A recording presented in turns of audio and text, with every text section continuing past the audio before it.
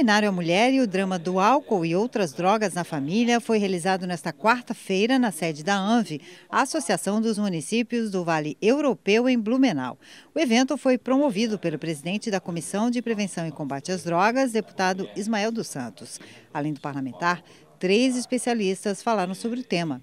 O relatório mundial sobre drogas aponta que em 2021, 275 milhões de pessoas passaram a usar drogas. A pandemia agravou a situação.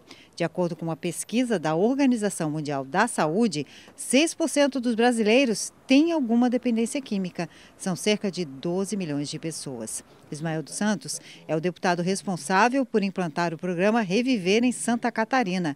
Em aproximadamente oito anos, já foram atendidos 25 mil jovens no estado, em cerca de 70 comunidades terapêuticas.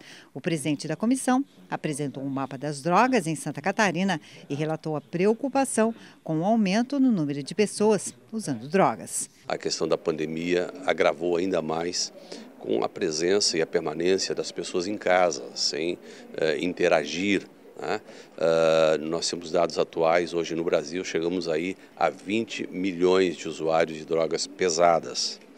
É, no, em Santa Catarina, os números também aumentaram. E por falar em programa Reviver, o trabalho de acolhimento e tratamento com jovens, por meio deste projeto, foi destaque na palestra do coordenador da Comissão de Prevenção e Combate às Drogas. A nível de Brasil, cada 10 acolhidos, 7 vão recair. É, as estatísticas mostram isso. Em Santa Catarina, graças ao programa Rever, a gente conseguiu mudar esses números. Hoje mostra que em Santa Catarina, a cada 10 acolhidos, 6 vão conseguir levar uma vida normal daqui para frente. Alberto Cordeiro dos Santos é comissário da Polícia Civil. São 16 anos de profissão combatendo narcotráfico e organizações criminosas. Foi responsável pelas duas maiores apreensões de drogas em Blumenau.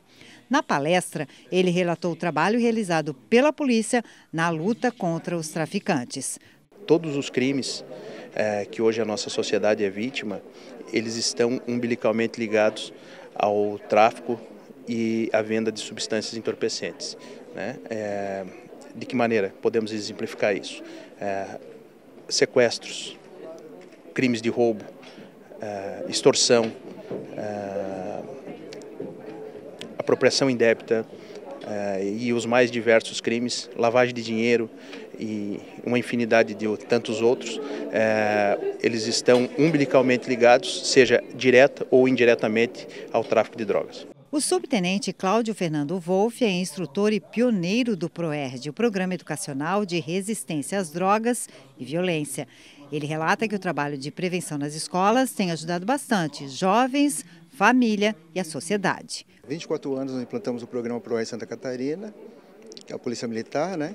E desde então nós estamos nas escolas. Por entender que é um caminho mais, digamos assim, mais menos traumático, né?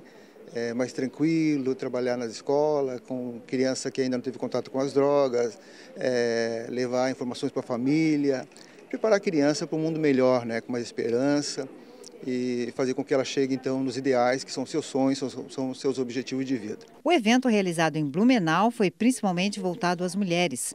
Um alerta aos casos de violência doméstica, muitas vezes causada pelo consumo de drogas.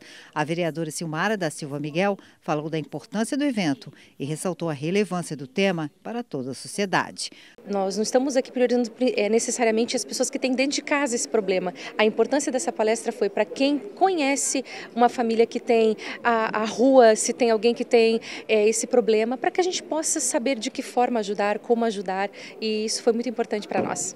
Nós tivemos 51 mil boletins de ocorrência né, de maus tratos por mulheres que sofreram é, violência doméstica, não é? Uh, e muita dessa violência veio inflada pela questão em especial do consumo do álcool.